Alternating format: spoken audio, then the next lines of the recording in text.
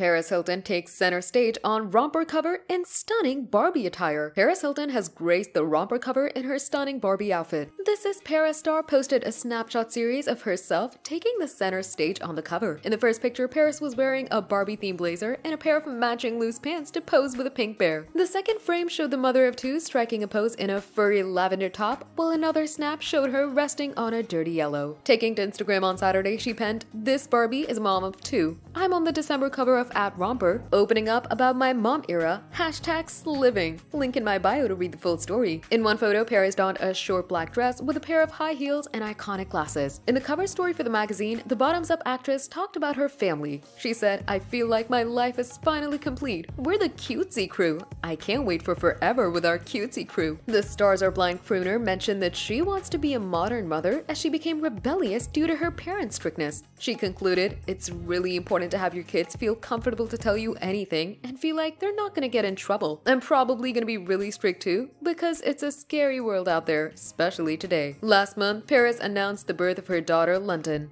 Stay tuned for the latest celebrity updates. Hit the subscribe button and ring the notification bell for all the latest news.